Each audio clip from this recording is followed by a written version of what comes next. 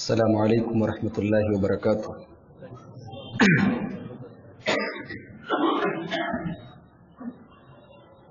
الحمد للہ نحمده ونستعينه ونستغفره. ونعوذ بالله من شرور أنفسنا ومن سيئات أعمالنا. من يهده الله فلا مضل له ومن يضلل فلا هادي له. وأشهد أن لا إله إلا الله وحده لا شريك له.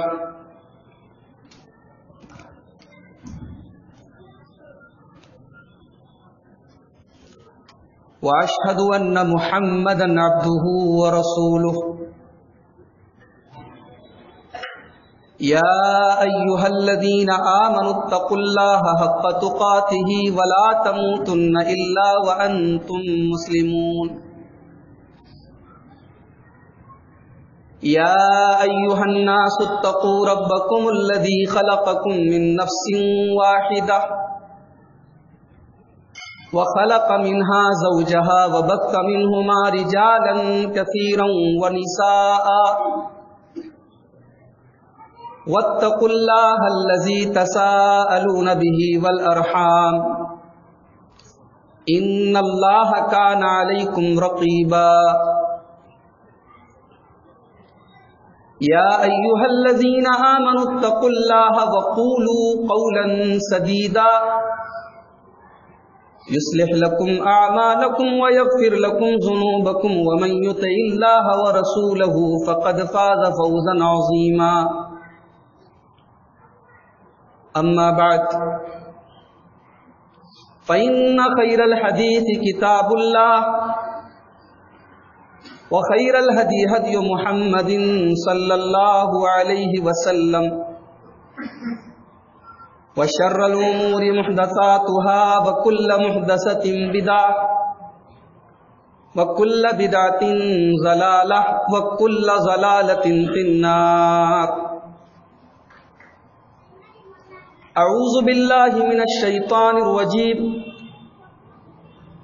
بسم الله الرحمن الرحيم ولقد بعثنا في كل أمة رسولا أن اعبدوا الله واجتنبوا الطاغوت۔ وقال تعالى في مقام آخر۔ وما خلقت الجن والانس الا ليعبدون۔ محترم علماء کرام، قابل احترام بزرگوں، نوجوان بھائیوں، اور اگر خواتین اسلام بھی اس مسجد میں موجود ہیں، تو پردہ نشین ماں اور بہن۔ اللہ تعالیٰ کی بہت بڑی نعمت ہے کہ ہم اور آپ اللہ کے ایک گھر میں بیٹھ کر قرآن و حدیث کی باتیں سن رہے ہیں۔ یہ کوئی معمولی بات نہیں ہے۔ بہت سارے لوگ موبائل پر بیٹھ کر فلمیں دیکھ رہے ہوں گے۔ بہت سارے لوگ ٹی وی دیکھ رہے ہوں گے، سیریل دیکھ رہے ہوں گے۔ فالتو کاموں میں لگے ہوں گے۔ مگر اللہ تعالیٰ نے آپ کو چن لیا ہے۔ آپ دنیا کی سب سے مقدس جگہ پر بیٹھے ہوئے ہیں۔ ظاہر سی بات ہے کہ اللہ کی زمین پر مسجد سے زیادہ مقدس کوئی جگہ نہیں۔ اور آپ کس کام کے لیے بیٹھے ہیں؟ اللہ کی بات کو سننے کے لیے، رسول کی بات کو سننے کے لیے۔ کیا سمجھتے ہیں آپ؟ یہ کوئی معمولی بات ہے؟ ایک حدیث آپ کو سنا دیتا ہوں۔ بخاری شریف کی حدیث ہے، اللہ کے نبی صلی اللہ علیہ وسلم فرماتے ہیں کہ اللہ کے کچھ فرشتے زمین کا چکر لگاتے ہیں۔ زمین میں گھومتے کس لیے گھومتے یل تمسون اہل ذکر تلاش کرتے ہیں کہ کہاں پر اللہ کا اللہ کا ذکر ہو رہا ہے، اللہ کی بات ہو رہی ہے، اللہ کے رسول کی بات ہو رہی ہے۔ اور جہاں دیکھتے ہیں کہ ایسی کوئی مجلس جمع ہے، تو وہ فرشتے آپس میں کہتے ہیں، آؤ، یہاں ہمارے مطلب کا کام ہو رہا ہے۔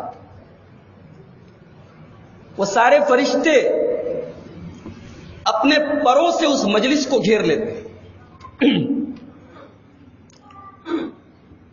اور اتنے سارے فرشتے ہوتے ہیں کہ آسمان تک بھر جاتے ہیں۔ پھر جب وہ اللہ کے یہاں جاتے ہیں، تو اللہ تعالیٰ پوچھتا ہے کہ میرے بندے کیا کر رہے ہیں؟ تو فرشتے کہتے کہ اے اللہ، تیرے بندے تیری تسبیح بیان کر رہے ہیں، تیری بڑائی بیان کر رہے ہیں، تیری بزرگی بیان کر رہے ہیں۔ اللہ پوچھتا ہے کہ میرے بندوں نے دیکھا ہے مجھے؟ فرشتے کہتے نہیں، دیکھا تو نہیں۔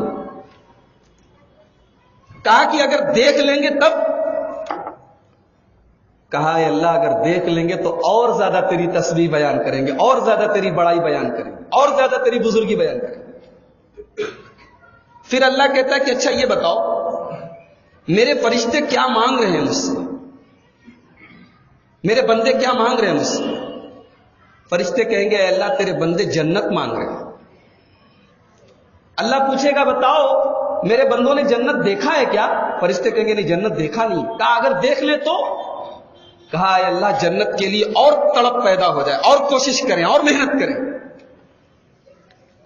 کہا اچھا میرے بندے کسی چیز سے پناہ مانگ رہے ہیں کیا؟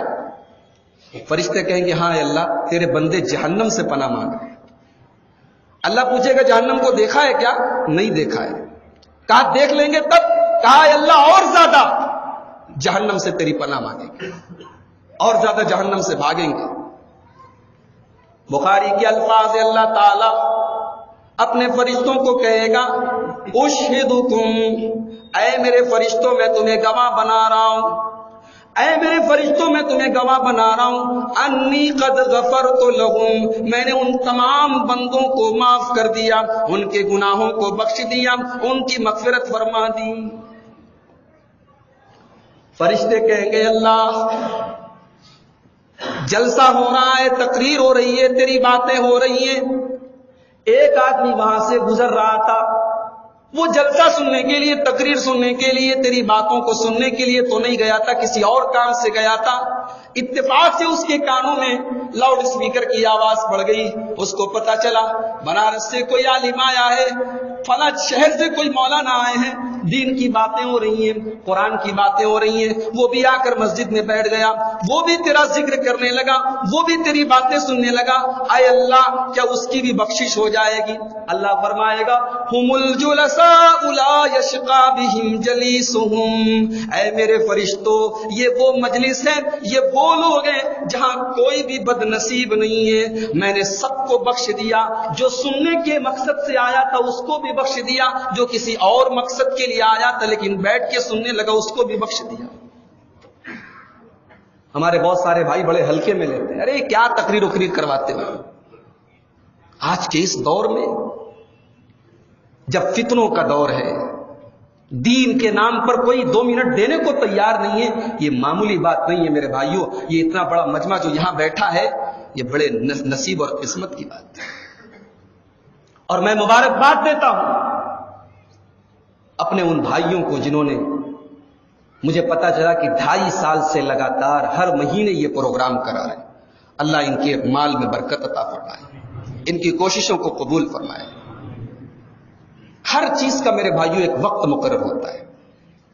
میرے پاس فون آیا تھا راجکوٹ کے اس پروگرام کے لیے اکتوبر میں، تقریباً چار پانچ مہینہ پہلے۔ اور اللہ کی قدرت دیکھیے، میں نے ٹکٹ بھی تقریباً سمجھیے کہ بنوا لیا۔ ٹرین کا ٹکٹ بنوا لیا تھا، فلائٹ کا ٹکٹ بھی بنوا لیا تھا، ریڈی تھا بالکل۔ ٹائم طے ہو گیا تھا اکتوبر کی اکیس یا بائیس تاریخ کو، مجھے تاریخ ٹھیک سے یاد نہیں۔ اتفاق سے اسی مہینے میں اللہ کی توفیق سے سعودی عرب سے دعوت مل گئی مجھے۔ میں نے ذمہ داروں سے بات کی کہ بھائی، اب میں وعدہ کر چکا ہوں، میں وعدے سے مجبور ہوں۔ اب آپ اگر اجازت دیں تو میں سعودی عرب کے پروگرام کو ہاں بولتا ہوں، ورنہ میں وہاں انکار کروں۔ یہاں کے بھائیوں نے کہا، نہیں شیخ، اتنی بڑی بات ہے، اگر اللہ نے آپ کو یہ موقع دیا ہے، ہم اپنا پروگرام آپ کا بعد میں کر لیں گے، کسی اور کو بلا لیں گے۔ اس وقت میں سعودی عرب چلا گیا اور وہ اکتوبر میں میں نہیں آ پایا۔ لیکن سعودی سے آنے کے بعد اللہ کا فضل و کرم ہوا۔ میں نے اسی وقت جو ہے یہاں کے ذمہ دار جو پروگرام کراتے ہیں، میں نے کہا کہ فروری کی فلاں تاریخ کو میں ابھی سے آپ کو ٹائم دے رہا ہوں اور آج اللہ کی توفیق سے میں آپ کے سامنے موجود ہوں۔ میرا عنوان کیا ہے؟ ٹاپک کیا ہے؟ ابھی آپ نے ہمارے فاضل گرامی مولانا عمران سلفی کی تقریر سنی، کامیاب کون؟ قرآن میں کس کو کامیاب کہا گیا، حدیث میں کس کو کامیاب کہا گیا؟ ہمارے بہت سارے بھائی ایسا بولے، ایسا سمجھے کہ یہاں تو دونوں تقریریں تقریباً ایک ہی ٹاپک پر ہو رہی ہے ایک تقریر توحید پر ہو رہی ہے ایک تقریر کامیاب کون پر ہو رہی ہے کامیابی ایک الگ موضوع ہے۔ کامیابی صرف توحید نہیں ہے، توحید کے ساتھ ساتھ اور بہت ساری چیزیں ہیں۔ لیکن میری تقریر کا عنوان کیا ہے کہ توحید کیا ہے؟ توحید کیا ہے؟ اور آج ہماری یہ قوم، یہ امت توحید سے دور کیوں ہے؟ اس کا ریزن کیا ہے؟ اس کا سبب کیا ہے؟ اس کی وجہ کیا ہے؟ اور اس کا علاج کیا ہے؟ اس پر ہم انشاءاللہ تفصیل سے روشنی ڈالیں گے۔ اللہ تعالی ہم سب کو کہنے اور سننے سے زیادہ عمل کرنے کی توفیق سب سے پہلے آپ توحید کو سمجھ لیں۔ توحید کا کیا مطلب ہے؟ ایک سمپل اور آسان لفظوں میں اگر ہم یہ کہیں کہ توحید کا مطلب یہ ہے کہ اس کائنات کا، اس یونیورس کا، اس ورلڈ کا، اس وشو کا نرماتا پیدا کرنے والا خالق، کریٹر اللہ ہے۔ اس کائنات کا چلانے والا اللہ ہے۔ ہم سب کو پیدا کرنے والا اللہ ہے۔ ہمارا رب اللہ ہے۔ یہ توحید ہے۔ یہ توحید کا پہلا مطلب ہے کہ اللہ ہی ہمارا خالق ہے، اللہ ہی ہمارا رب ہے، اس پوری دنیا کے سسٹم کو وہ اکیلا چلا رہا ہے۔ تو جب اللہ ہی ہمارا خالق ہے، اللہ ہی ہمارا مالک ہے، اللہ ہی ہمیں روزی دے رہا ہے، تو سجدہ بھی اسی کے آگے کیا جائے۔ سر بھی اسی کے آگے جھکایا جائے۔ دعا بھی اسی سے کی جائے۔ قسم بھی اسی کی کھائی جائے، منت بھی اسی کی مانی جائے، جانور بھی اسی کے نام سے ذبح کیا جائے، ڈرا بھی اسی سے جائے، محبت بھی اسی سے کی جائے، لو بھی اسی سے لگائی جائے، بھروسہ بھی اسی پر کیا جائے، اسی کا نام تو ہے۔ آج دنیا میں بہت سارے لوگ، یہ تو کہتے ہیں سب کا مالک ایک ہمارے ہندو بھائیوں میں سے بہت سارے ہندو بھائیوں سے آپ ملاقات کریں گے، وہ بھی یہ کہیں گے بھائی ایشور تو ایک ہے، بھگوان تو ایک ہے۔ ان کی مذہب کی کتابیں بتاتی ایکم برہما دتیہ ناستی نہنا ناستی کنچن۔ برہما ایک ہے، پروردگار ایک ہے پالن ہار ایک ہے، اللہ ایک ہے۔ دوسرا نہیں ہے، بالکل بھی نہیں ہے، ذرا سا بھی نہیں ہے۔ ان کی کتابیں بھی کہہ رہی ہیں۔ مگر آپ دیکھیں۔ مان تو رہے کہ اللہ ہمارا رب ہے، ایک ہے ہمارا رب۔ مگر عبادت بہت سارے لوگوں کی ہو رہی ہے۔ علم مانگنا ہو، گیان مانگنا ہو، تو سرسوتی کی پوجا ہو رہی ہے۔ دولت مانگنا ہو، تو لکشمی جی کی پوجا ہو رہی ہے۔ کوئی ڈرنے کا معاملہ آ جائے تو کالی کی پوجا ہو رہی ہے۔ کوئی کام شروع کرنا ہو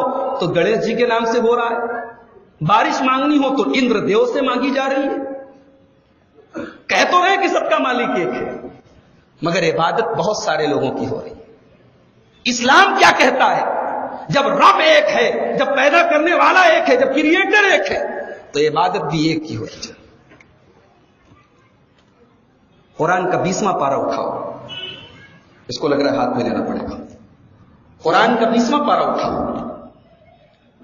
امن خلق السماوات والارض وانزل لكم من السماء ماء فانبتنا به حدائق ذات بهجه میرے بندو، یہ بتاؤ کہ زمین کو کس نے پیدا کیا؟ یہ دھرتی کس نے پیدا کی؟ آسمان کس نے پیدا کیا؟ کون ہے جو آسمان سے بارش نازل کرتا ہے؟ زمین سے کھیتی پیدا کرتا ہے۔ اللہ کیا اللہ کے علاوہ بھی کوئی دوسرا ہے؟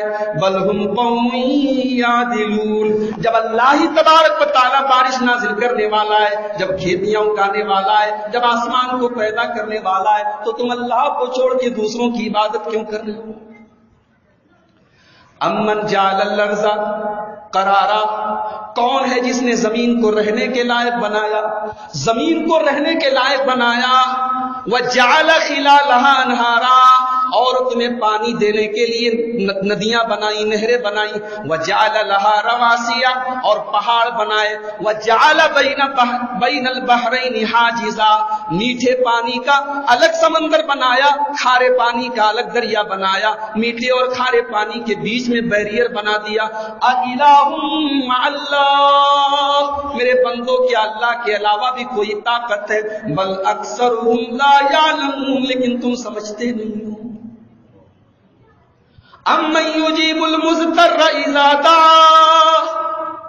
کون ہے جو تکلیف میں مصیبت میں کوئی آدمی پڑ جاتا ہے؟ اس کی مصیبت کو دور کرتا ہے، اس کی تکلیف کو دور کرتا ہے، اس کی بیماری کو دور کرتا ہے۔ وہ تم خلفا الرزی کون ہے جس نے تم کو زمین کا خلیفہ بنایا ہے؟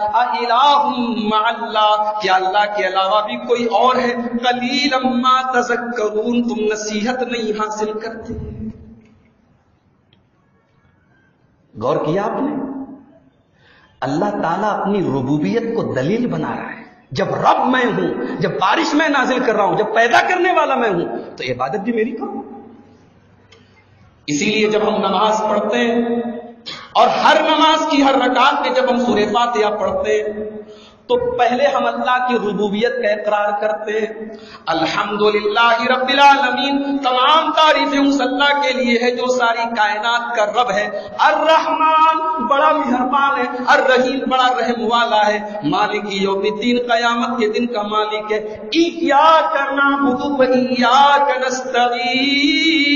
اے اللہ، جب تو رب ہے، تو معبود بھی تو ہے، سہارا بھی تو ہے، مشکل کشا بھی تو ہے، دستگیر بھی بھی تو ہے، غریب نواز بھی تو ہے، بندہ نواز بھی تو ہے، دینے والا بھی تو ہے، چھیننے والا بھی تو ہے۔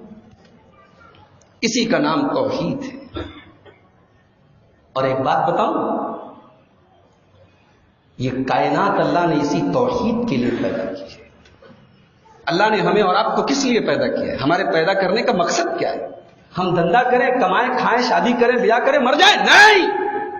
ہماری پیدائش کا مقصد کیا ہے؟ What is the purpose of our life ہمارے جیون کا ادیش کیا ہے؟ ہماری زندگی کا مقصد کیا ہے؟ اللہ تعالیٰ نے قرآن کے ستائیس میں پارے میں بتایا تھا۔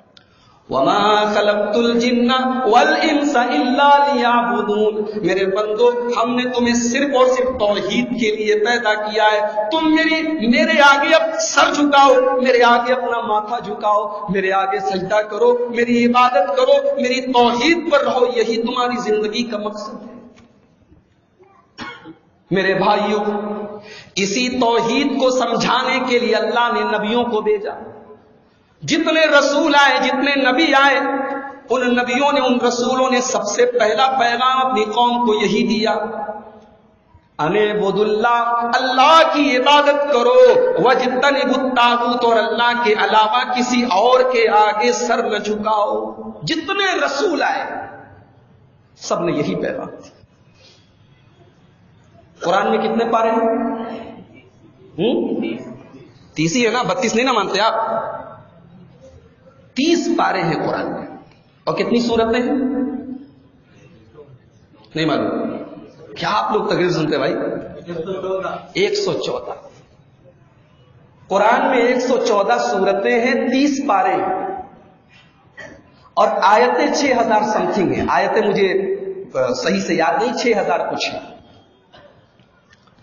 قرآن کو اگر ہم تین حصوں میں ڈیوائڈ کرتے ہیں قرآن کو تین بھاگ میں اگر ہم کرتے ہیں، تو قرآن کا تیسرا حصہ توحید ہے۔ قرآن کا اگر تیس پارے ہیں قرآن میں، تو دس پارے میں اللہ نے توحید سمجھائی ہے۔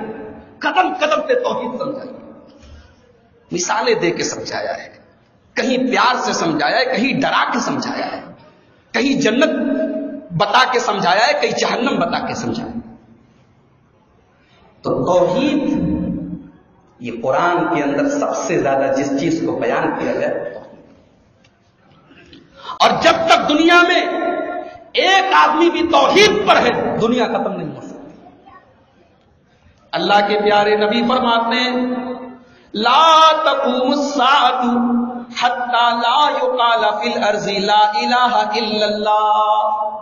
جب تک زمین کے اوپر ایک آدمی بھی لا الہ الا اللہ کہنے والا ہے، ایک آدمی بھی توحید والا ہے، ایک آدمی بھی اللہ کے آگے اپنا ماتھا جھکانے والا ہے، اس وقت تک قیامت نہیں آئے گی۔ توحید سے دنیا چل رہی توحید ختم، دنیا ختم۔ کوئی معمولی چیز نہیں ہے میرے پاس مگر سوچو، اللہ کی زمین پہ رہ کے اللہ کی نعمتوں سے فائدہ اٹھا کے آج انسان شرک کر رہا ہے۔ وہ اللہ کتنا برداشت کر رہا ہے۔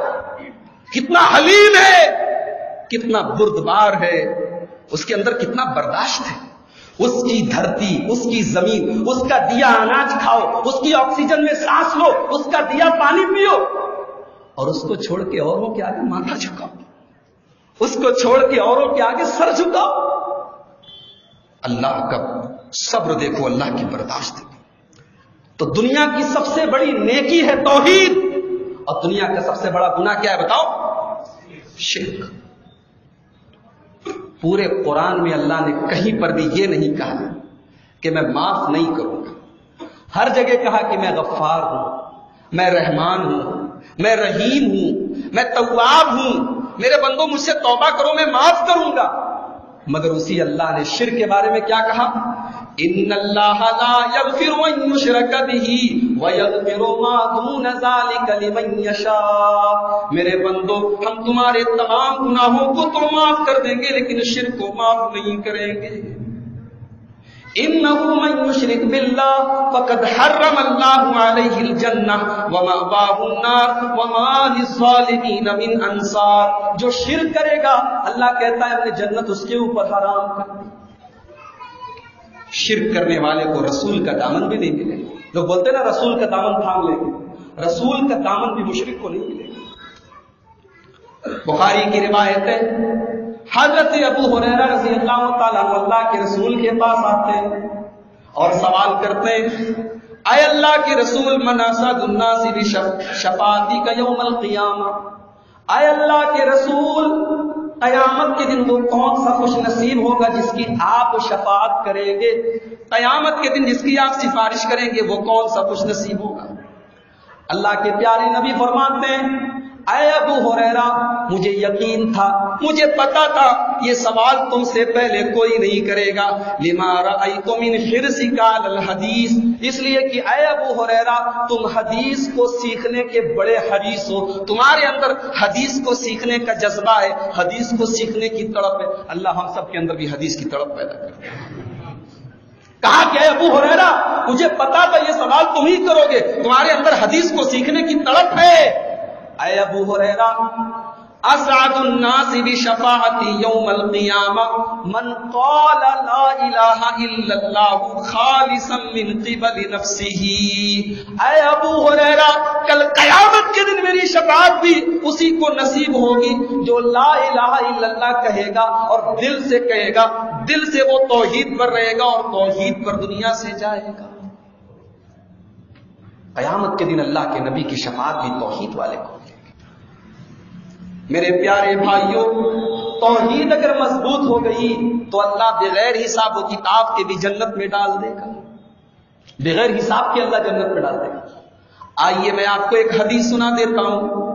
توحید کی برکت دیکھو، توحید کی فضیلت دیکھو۔ توحید اگر پیدا ہو گئی، اگر اللہ کی ذات پر مکمل بھروسہ پیدا ہو گیا، اگر اللہ کی ذات پر وشواس پیدا ہو گیا، تو اللہ بغیر حساب کے جنت میں ڈالے گا۔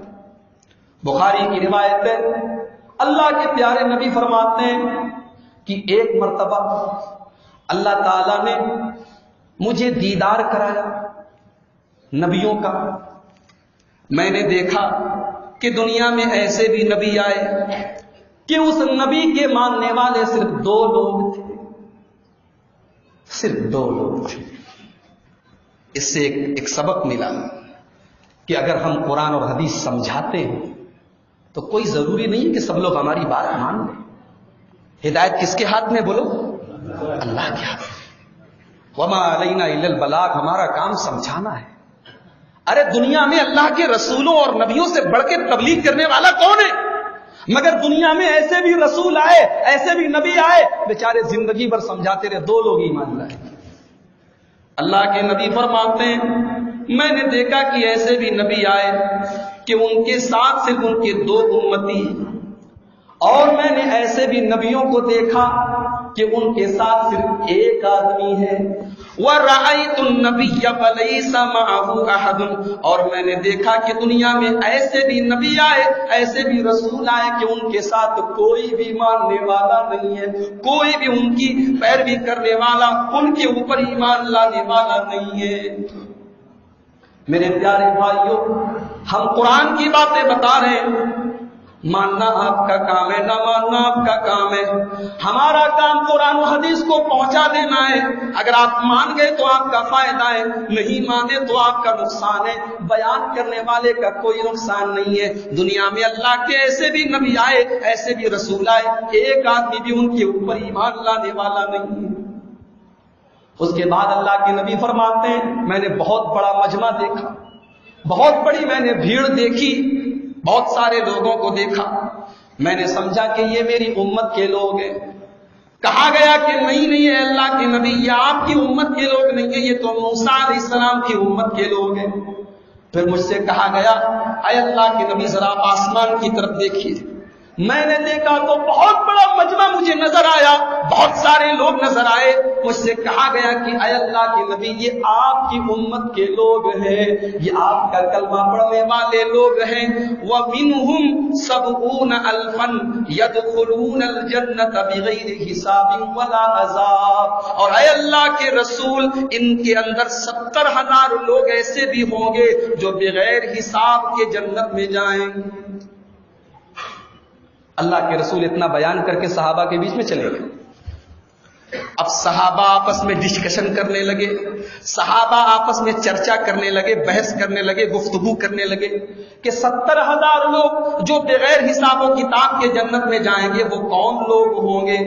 کچھ صحابہ نے کہا کہ ستر ہزار لوگ جو بغیر حساب و کتاب کے جنت میں جائیں گے، یہ وہ لوگ ہوں گے جو رسول کے صحابہ ہیں، جو رسول کے ساتھی ہیں۔ کچھ لوگوں نے کہا، نہیں نہیں، ہم تو پہلے شرک کرتے تھے، بعد میں اسلام لائیں ہماری آنے والی اولاد جب پیدا ہوگی، جو اسلام کے اندر پیدا ہوگی، وہ ستر ہزار لوگوں میں جائیں۔ گے صحابہ آپس میں بحث کر رہے ہیں۔ ایک مسئلہ پتا چلا کہ دین کے مسئلے پر بیٹھ کے چرچا کرنا چاہیے۔ آج تو بس مسجد میں تقریر ہو رہی ہے، بس یہی بات ہوگی۔ باہر نکل کے ہم کرکٹ کی بات کریں گے، راجنیتی کی بات کریں گے، فلمی دنیا کی بات کریں گے۔ دین کی بات ہماری مجلس میں، ہمارے دوستوں کے بیچ میں ہم کبھی بھی بیٹھیں گے، کبھی دین کی بات نہیں کریں صحابہ بیٹھ کے ڈسکشن کر رہے ہیں کس بات پہ؟ کہ ستر ہزار لوگ کون ہوں گے جو جنت میں جائیں گے بغیر حساب کے۔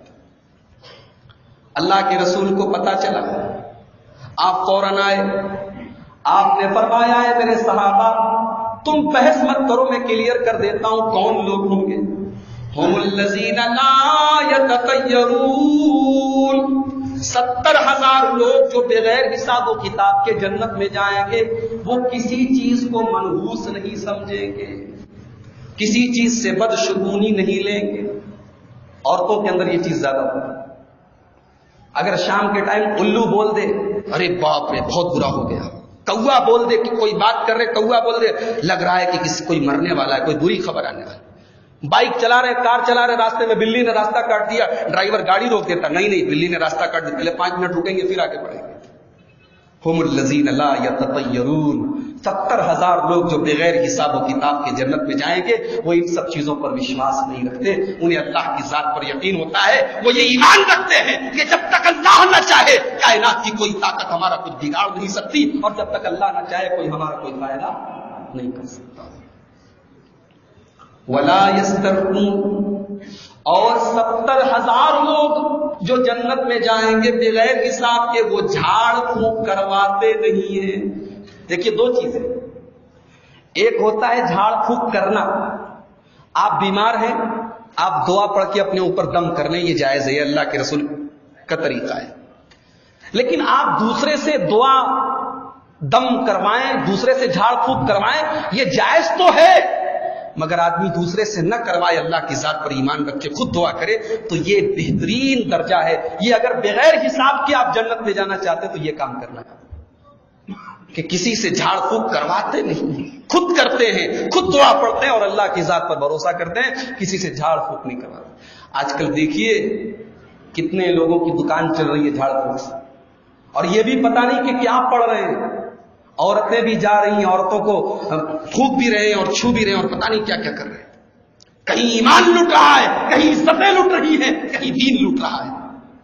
اللہ کے رسول فرماتے ستر ہزار لوگ جو بغیر حساب و کتاب کے جنت میں جائیں گے، وہ جھاڑ پھونک نہیں کرواتے۔ ولا یکتمون اور بیمار اگر ہو جاتے ہیں تو اپنے بدن کو دگواتے نہیں پہلے علاج کا ایک طریقہ تھا، بدن میں دگواتے تھے۔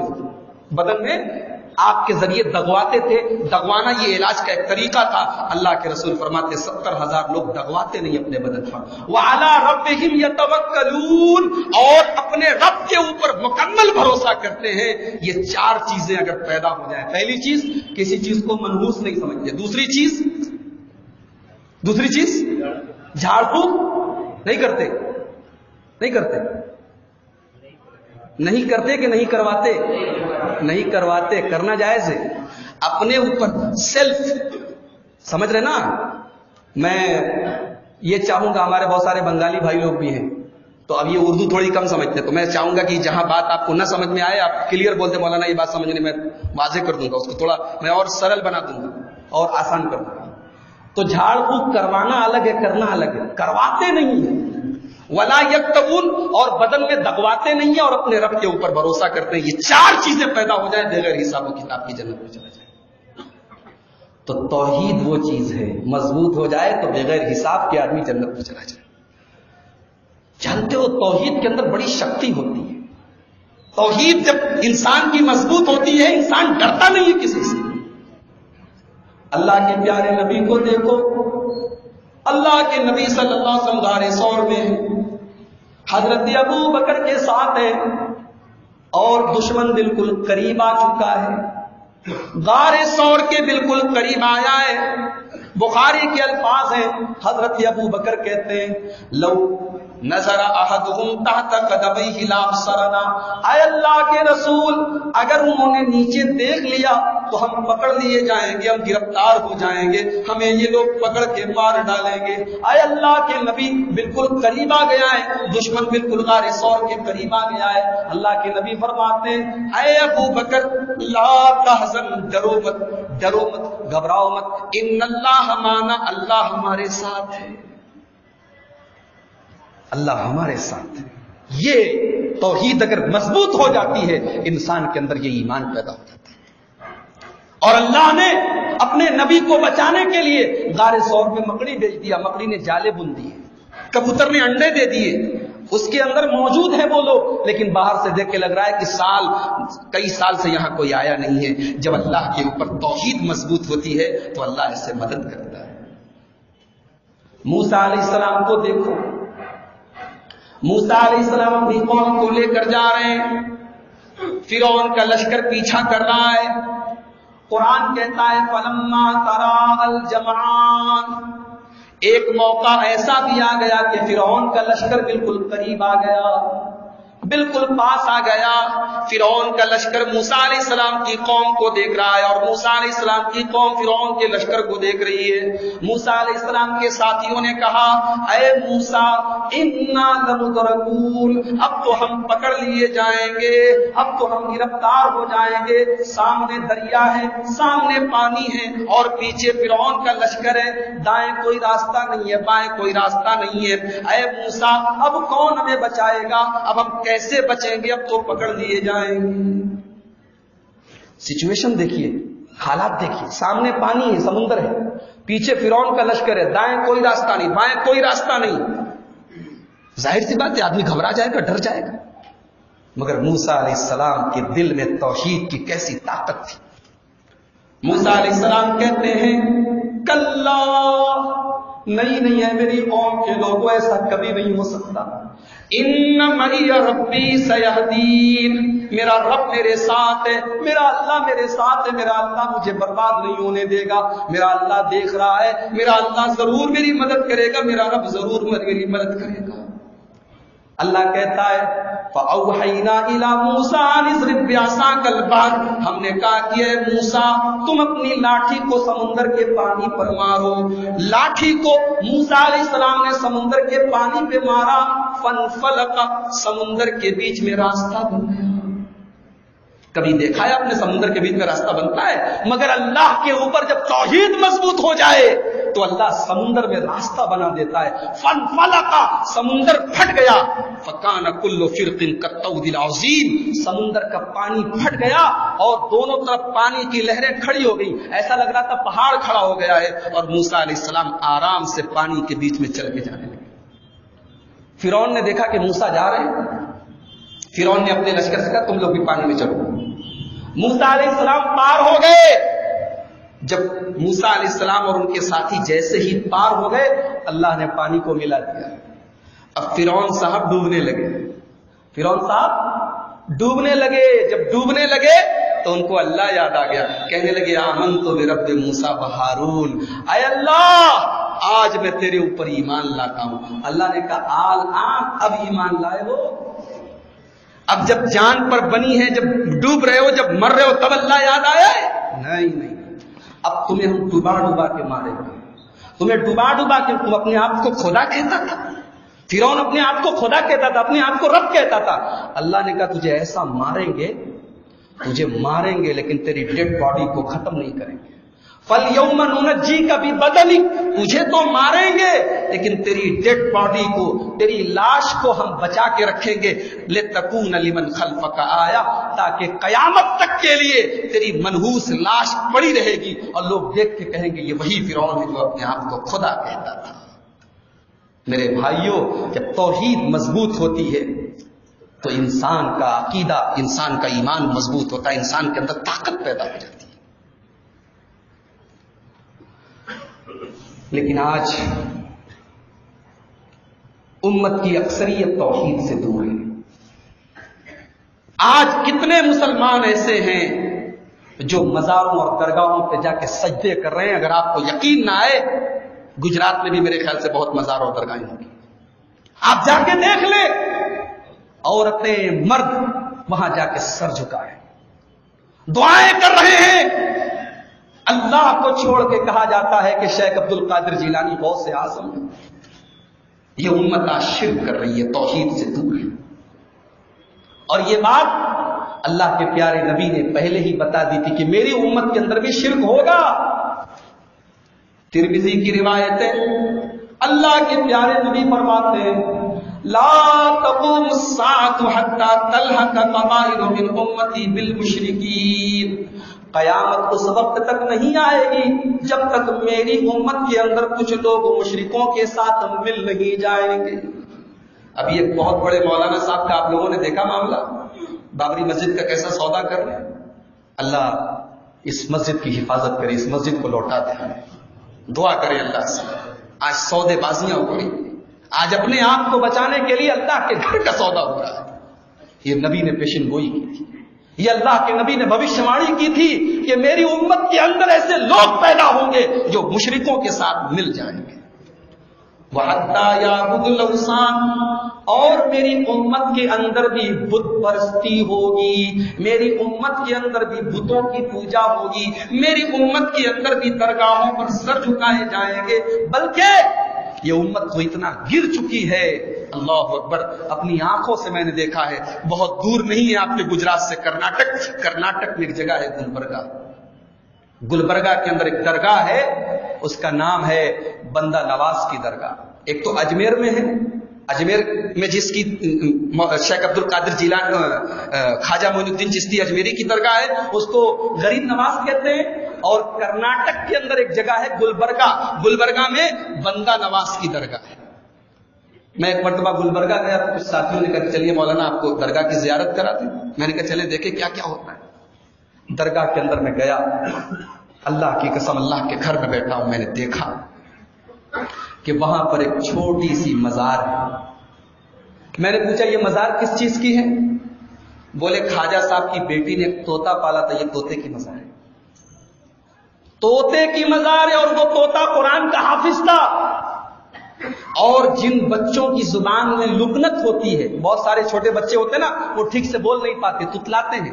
تو جن بچوں کی زبان میں تتلاہٹ ہوتی ہے، لکنت ہوتی ہے، ان کے ماں باپ آتے ہیں اور اس توتے کی مزار پہ دیسی گھی اور شکر چڑھاتے ہیں، بچہ صحیح ہو جاتا ہے۔ اللہ اکبر یہ اس امت کا حال ہے۔ توتے کی مزار ہے، گھوڑے کی مزار ہے، بلی کی مزار ہے۔ اللہ کے نبی نے بالکل سچی بات کہی حتیٰ یا بدلوسان میری امت کے اندر بت پرستی کی جائے گی۔ ایک اور حدیث دیکھیے۔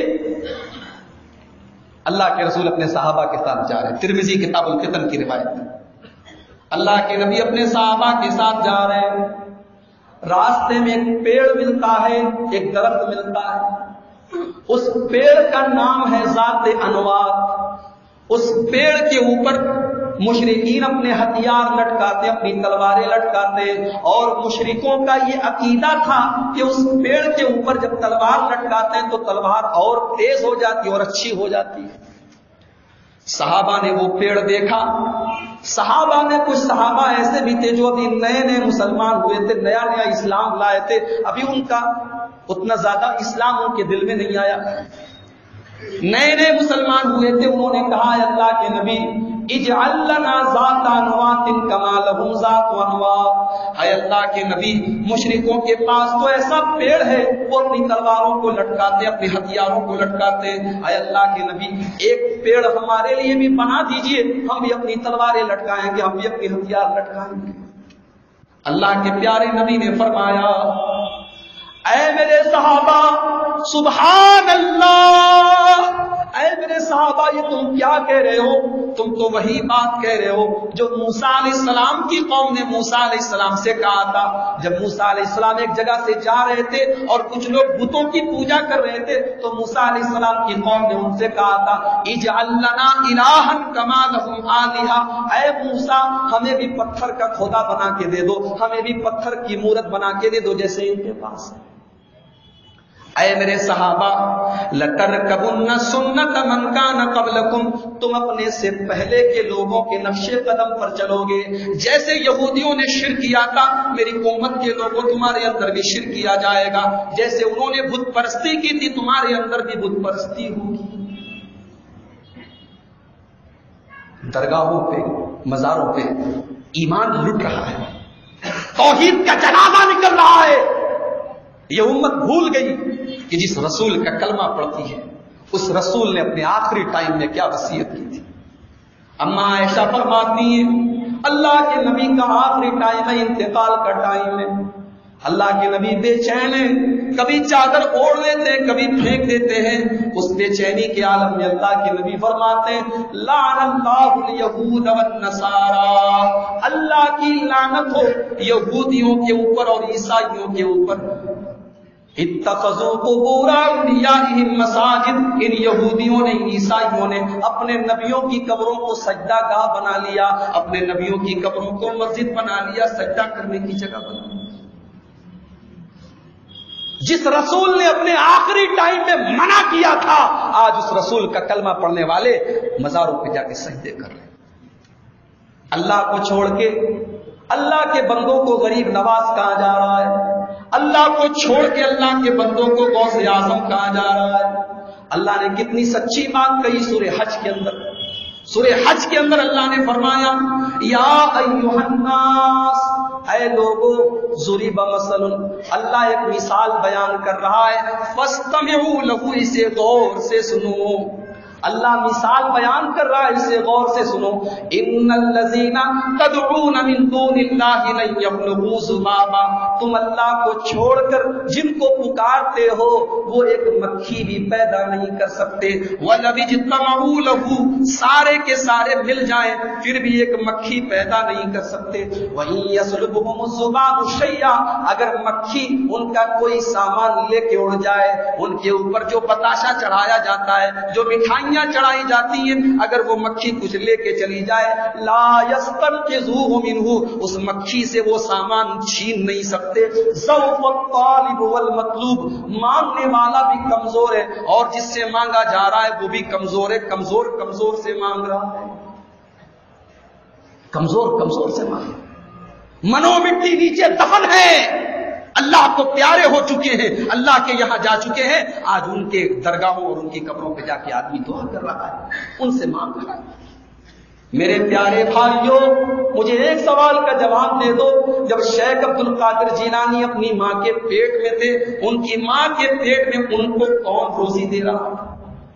جب خواجہ معین الدین چشتی اجمیری اپنی ماں کے پیٹ میں تھے، ماں کے پیٹ میں کون ان کو آکسیجن دے رہا تھا، ماں کے پیٹ میں کون ان کو زندگی دے رہا تھا۔ اللہ فرماتا ہے میرے بندو، تمہاری ماں کے پیٹ میں تمہیں روزی دینے والا اللہ ہے۔ توحید، جس کا جنازہ آج ہم نے نکال دیا۔ اللہ تعالیٰ سورہ فاطر کے اندر فرماتا ہے والذین تدعون من دونه ما يملكون من قطمیر میرے بندو، تم اللہ کو چھوڑ کر تم اللہ کو چھوڑ کر جن کو داتا کہتے ہو، جن کو دستگیر کہتے ہو، جن کے نام کی منت مانتے ہو، جن کے نام پہ مرغوں کی قربانی کرتے ہو، جن کے نام پر چادریں چڑھاتے ہو، جن کے نام کی قسم کھاتے ہو۔ والذین تدعون من دونه، تم اللہ کو چھوڑ کے جن کو پکارتے ہو۔ ما يملكون من قطمیر وہ قطمیر کے بھی بھی مالک نہیں ہے جانتے ہیں کتمیر کس کو کہتے ہیں؟ کتمیر کہتے ہیں کھجور کی گٹلی کے اوپر جو باریک سی جلی ہوتی ہے۔ کھجور بھی نہیں کہا، کھجور کی گٹلی بھی نہیں کہا، بلکہ کھجور کی گٹلی کے اوپر جو جلی ہوتی ہے، جو لفافہ ہوتا ہے، جو کھجور کی گٹلی کے اوپر جو چھلکا ہوتا ہے، اللہ فرماتا ہے، وہ اتنے بے ویلو ہیں، وہ اتنے بے حیثیت ہیں کہ کھجور کی گٹلی کے چھلکے کے بھی مالک نہیں ہے ان تدعوہم لا يسمعوا دعاءکم، تم ان کو جتنا بھی پکارو، وہ تمہاری دعا کو سن نہیں سکتے۔ اور اسی کے فوراً بعد اللہ نے کہا یا ایوہ الناس انتم الفقراء اللہ ہے مانو جاتی، اے انسانوں اے دنیا میں بسنے والے تمام کے تمام انسانوں انتم الفقراء اللہ تم سب کے سب اللہ کے در کے فقیر ہو، تم بھی اللہ کے فقیر ہو۔ خواجہ معین الدین چشتی اجمیری بھی اللہ کے فقیر ہے۔ تم بھی اللہ کے در کے محتاج ہو۔ اور شیخ عبد القادر جیلانی بھی اللہ کے در کے محتاج ہے۔ اللہ کے جتنے اولیاء دنیا میں آئے، وہ سارے کے سارے اللہ کے محتاج ہیں۔ واللہ الغنی الحمید۔ اکیلی اللہ کی ذات ایسی ہے جو کسی کی محتاج نہیں ہے۔ اللہ سب کو دینے والا ہے، وہ کسی کا محتاج نہیں میرے بھائیوں، دنیا میں امن کہاں سے آئے گا؟ دنیا میں شانتی کہاں سے آئے گی جب توحید ختم ہوگی؟ جو مسلمان نماز میں کہتا یا کرنا بدو یا اے اللہ، عبادت تیری کرتا ہوں، مدد تجھی سے مانگتا ہوں. مسجد کے باہر نکلتا ہے، کہتا یا علی مشکل کشا. یا خواجہ غریب نواز، دکان پہ بڑے بڑے حروف میں لکھتا ہے، بغداد شریف کی تصویر لگاتا ہے، اجمیر شریف کی تصویر، درگاہ کی تصویر لگاتا ہے، اور یہ ایمان رکھتا ہے کہ مجھے برکت ہوگی۔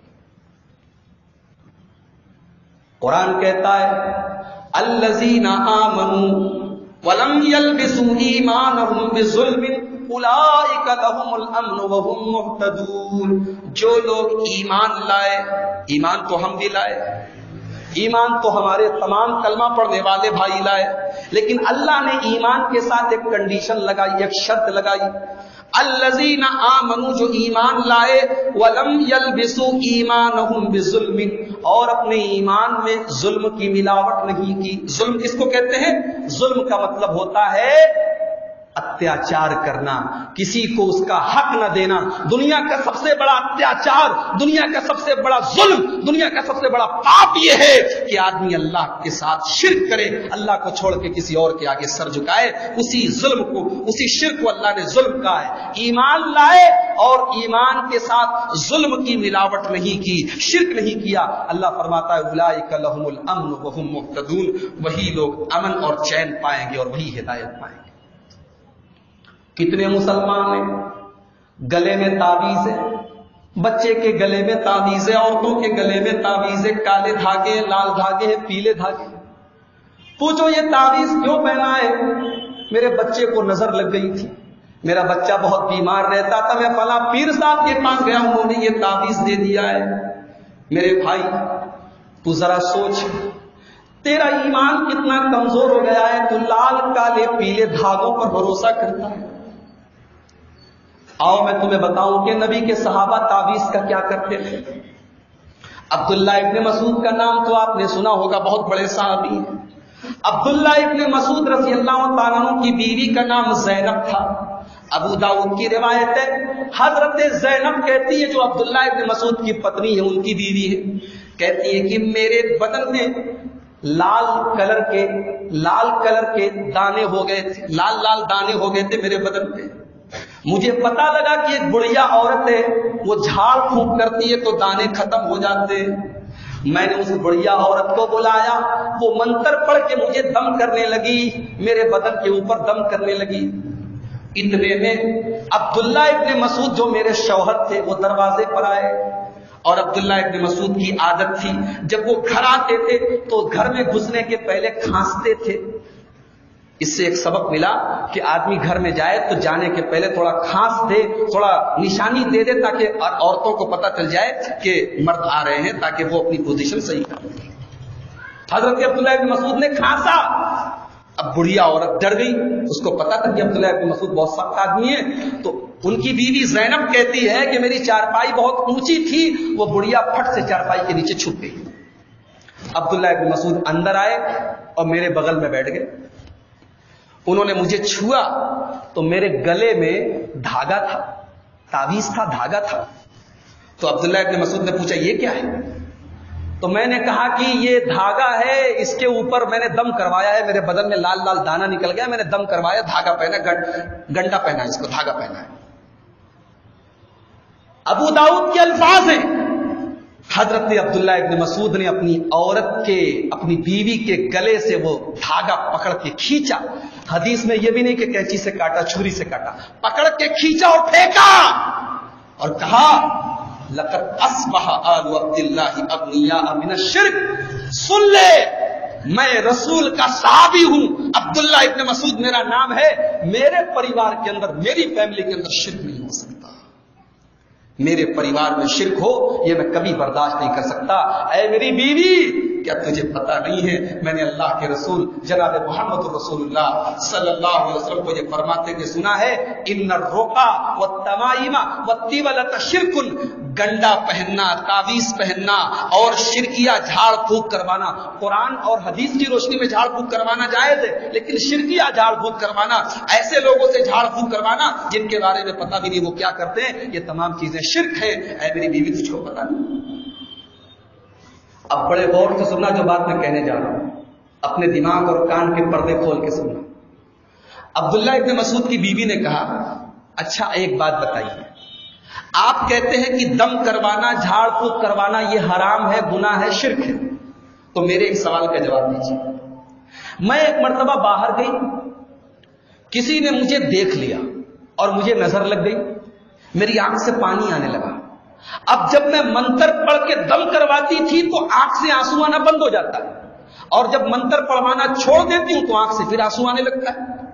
تو آپ بتائیے، آپ تو کہہ رہے ہیں شرک ہے، غلط ہے۔ تو یہ کام کرنے سے میں صحیح کیسے ہو جاتا آج آپ کو بہت سارے لوگ یہ دلیل دیں گے کہ اگر اجمیر جانا غلط ہے تو اجمیر جانے سے میرا کاروبار کیسے چلنے لگا؟ مجھے سات سال سے لڑکا نہیں ہو رہا تھا، میں درگاہ پہ گیا، چادر چڑھا دی، خواجہ صاحب کے نام کی مجھے لڑکا ہو گیا۔ اگر یہ غلط ہے تو لڑکا کیسے ہو گیا؟ عبداللہ ابن مسعود کی بیوی نے بڑا پیارا سوال کیا تھا۔ اگر اس کو سمجھ لو تو عقیدہ صحیح ہو جائے گا۔ کہا کہ ہے میرے شوہر، اگر گنڈا تعویز پہننا غلط ہے، اگر منتر پڑھنا غلط ہے، اگر دم کروانا غلط ہے، تو میں صحیح کیسے ہو گئی؟ اب صحابی کا جواب سنو ابو داؤد کتاب الطب کی روایت حوالہ میرے پاس موجود ہے، حدیث نمبر موجود ہے، جب چاہے تب لے لیں۔ صحابی رسول کیا جواب دیتے؟ کتنا پیارا جواب دیتے کہتے ہیں، میری بیوی، یہ شیطان کی ایک چال ہے۔ شیطان تیرے اوپر حملہ کرتا ہے۔ اور جب تو شیطان کی بات مان لیتی ہے، جب تو تعویذ پہننے لگتی ہے، جب تو گنڈا پہننے لگتی ہے، تو شیطان تجھے چھوڑ دیتا ہے۔ اور جب تو شیطان کی بات نہیں مانتی ہے، تو تعویذ اتار دیتی ہے، تو منتر پڑھنا بند کر دیتی ہے، تو دم کروانا بند کر دیتی ہے، تو شیطان پھر سے تیری آنکھ میں آ کے انگلی ڈال دیتا ہے۔ شیطان تجھے تکلیف پہنچانے لگتا ہے۔ اس سے ایک مسئلہ یہ بھی پتا چلا کہ اللہ تعالیٰ نے شیطان کو اتنا پاور دیا ہے کہ وہ ہمارے جسم کے اندر بھی تکلیف پہنچا سکتا ہے۔ ہمارے ایمان کو کمزور کرنے کے لیے، ہماری توحید کو کمزور کرنے کے لیے شیطان ہمارے بچے کو نظر بھی لگا سکتا ہے۔ شیطان ہمارے بچے کو بیمار کرنے کی کوشش بھی کر سکتا ہے۔ لیکن عبداللہ ابن مسعود کہتے ہیں، اے میری بیوی، اگر کبھی ایسا ہو جائے تو میں علاج بھی بتا دیتا ہوں۔ میرے پیارے نبی جناب محمد رسول اللہ صلی اللہ علیہ وسلم، جب کہیں بدن میں تکلیف ہو جاتی تھی تو اللہ کے نبی ایک دعا پڑھ کے دم کرتے تھے تم وہ دعا پڑھ لیا کرو۔ کیا دعا پڑھتے تھے؟ بڑی پیاری دعا ہے۔ ہو سکتا ہے کہ آپ کو یاد نہ ہو۔ آپ مولانا موجود ان سے لکھوا لینا یا دعا کی کسی کتاب میں سے دیکھ کے یاد کر لینا۔ ازہب الباسا رب الناسی اشف انت الشافی لا شفاء الا شفاؤک۔ اے اللہ، تو لوگوں کا رب ہے۔ اے اللہ، تو میری تکلیف کو دور کر دے۔ تو شفا دے دے، تیرے علاوہ کوئی شفا نہیں دے سکتا۔ عبداللہ ابن مسعود کہتے تم یہ دعا پڑھ کے دم کر لو انشاءاللہ تمام بیماریاں ٹھیک ہو جائیں مگر آج کتنے مسلمان ہیں؟ دھاگا پہنتے ہیں، گنڈا پہنتے ہیں، تعویذ پہنتے ہیں اور یہ ایمان رکھتے ہیں کہ تعویذ سے میں، مجھے بیماری نہیں ہوتی۔ میرا رب تو قرآن میں کہتا ہے وہ اللہ اگر اللہ تمہیں بیماری دینا چاہے، اگر اللہ تمہارے اوپر تکلیف نازل کرنا چاہے، اگر اللہ تمہیں کسی پریشانی میں ڈالنا چاہے، کائنات کی کوئی طاقت تمہیں اس بیماری سے بچا نہیں سکتی۔ توحید۔ کتنے مسلمان ایسے ہیں؟ جو جادو ٹونا کرتے ہیں، جو جادوگروں کے پاس جاتے ہیں، ہمارے بنگالی بھائی بیٹھے ہوئے ہیں۔ بنگال کا جادو تو بڑا مشہور ہے۔ بنگال کی سڑکوں پہ تو قدم قدم پہ جادوگر ملتے ہیں۔ جادوگر کے پاس لوگ جاتے ہیں جوتشی کے پاس جاتے ہیں، اپنا ہاتھ دکھاتے ہیں۔ کہتے ہیں کہ میرا ہاتھ دیکھ کے بتاؤ کہ میں ایگزام میں پاس ہو جاؤں گا کہ نہیں؟ میری دکان چلے گی کہ نہیں؟ میری بیوی کو بچہ ہوگا کہ نہیں؟ پالسٹ کے پاس جاتے ہیں جوتشی کے پاس جاتے ہیں، اپنا ہاتھ دکھاتے ہیں۔ سن لو میرے بھائیو، یہ بھی شرک ہے، یہ بھی شرک ہے۔ اور اللہ کے نبی کیا فرماتے ہیں؟ ابو داؤد کی روایت ہے، اللہ کے نبی فرماتے ہیں، من اتا کاہنن او عرافن جو کسی جادوگر کے پاس جاتا ہے، جو کسی جوتشی کے پاس جاتا ہے، جو ہاتھ کی ریکھا دیکھ کر آپ کا بھوشیہ آپ کو بتاتا ہے، جو ایسے انسان کے پاس جاتا ہے، فصدقه مما یقول۔ اور اس کی باتوں کو سچ مان لیتا ہے، اس کی باتوں کی تصدیق کر لیتا ہے، فقد کفر بما انزل علی محمد، تو وہ اللہ کے رسول کی شریعت کا انکار کر دیتا ہے، کافر ہو جاتا ہے۔ جادو کر کے پاس جانا اور جادو کرنا اور جادو کا یقین کرنا، یہ کفر ہے میرے بھائیوں مگر آج امت کا ایک بڑا طبقہ ایسا ہے جو یہ کفر کرتا ہے۔ یہ سب شرک ہو رہا ہے کہ نہیں کتنے لوگ ہیں جو کسی سے محبت کرتے ہیں۔ اتنی محبت کرتے ہیں کہ وہ جو کہے ہم مان لیتے ہیں۔ ہمارے پیر صاحب نے کہا ہے تو صحیح ہی ہوگا۔ پیر صاحب کی بات ایک دم صاف لگ رہی ہے، غلط ہے۔ قرآن کے خلاف ہے، حدیث کے خلاف ہے، مگر نہیں۔ ہم نے پیر صاحب کے ہاتھ پر بیعت کی ہے۔ ہمارے پیر صاحب کی بات غلط نہیں ہو سکتی وہ لوگوں اگر پیر بنانا ہے تو کائنات کے اس انسان کو اپنا پیر بنا لو جن کی زبان سے کبھی کوئی غلط بات نہیں نکلتی ہے۔ آمینہ کے لال جناب محمد رسول اللہ صلی اللہ علیہ وسلم کو اپنا پیر بنا لو اپنا رہبر بنا لو اپنا امام بنا لو میرے نبی کی زبان سے کبھی کوئی غلط بات نہیں نکلتی ہے۔ اگر دوسروں کو پیر بناؤ گے، اگر دوسروں کی ہر بات مانو گے، تو یہ چیز بھی تمہیں شرک تک پہنچا سکتی ہے۔ آپ کہیں گے، ارے مولی صاحب، یہ کیا بول رہے ہیں؟ کسی کو پیر بنا کے کوئی مشرق ہو جائے گا؟ جی ہاں۔ جتنی محبت اللہ سے ہونی چاہیے، اتنی محبت اگر دنیا میں کسی اور سے کرو گے تو یہ بھی شرک ہے۔ اللہ تعالیٰ نے قرآن کے دوسرے پارے میں کہا، وَمِنَ النَّاسِ مَن يَتَّخِذُ مِن دُونِ اللَّهِ أَندَادًا يُحِبُّونَهُمْ كَحُبِّ اللَّهِ کچھ ایسے بھی لوگ ہیں جو اللہ کو چھوڑ کر دوسروں سے اتنی محبت کرتے، اتنی محبت کرتے جتنی اللہ سے ہونی چاہیے۔ جتنی محبت اللہ سے ہونی چاہیے، اگر اتنی محبت کسی اور سے کرو گے تو یہ بھی شرک ہے۔ جتنا خوف اور ڈر اللہ کا ہونا چاہیے، اتنا ڈر کسی اور سے کرو گے تو وہ ڈر بھی شرک تک پہنچا دے گا۔ تو یہ تو شرک ہو رہا ہے۔ اس کا ریزن کیا ہے؟ کیوں ہو رہا ہے یہ شرک؟ اب اس پر ہم تھوڑی سی گفتگو کریں گے، روشنی ڈالیں گے اور پھر علاج بتائیں گے انشاءاللہ۔ دیکھو، جتنا بھی شرک ہو رہا ہے امت کے اندر، اس کی سب سے پہلی وجہ یہ ہے جہالت اگیانتا قرآن اور حدیث کا صحیح جانکاری قرآن اور حدیث کی نہ ہونا۔ اسی لیے ہماری شریعت سب سے پہلے علم حاصل کرنے کی تعلیم ہے ہمارا بچہ کالج میں پڑھ رہا ہے، انجینئرنگ پڑھ رہا ہے ڈاکٹری پڑھ رہا ہے، مگر قرآن اور حدیث کے بارے میں کچھ نہیں پتا، ایمان کے بارے میں کچھ نہیں پتا، توحید کے بارے میں سب سے بڑا علم، سب سے بڑا گیان، سب سے بڑی ایجوکیشن یہ ہے کہ انسان اپنے اللہ کو بھیجا اسی لیے قرآن کہتا ہے فعلم لا الہ الا اللہ لا الہ الا اللہ پڑھنے کے پہلے اس کا گیان حاصل کرو، اس کا علم حاصل کرو، اس کے بارے میں جانو۔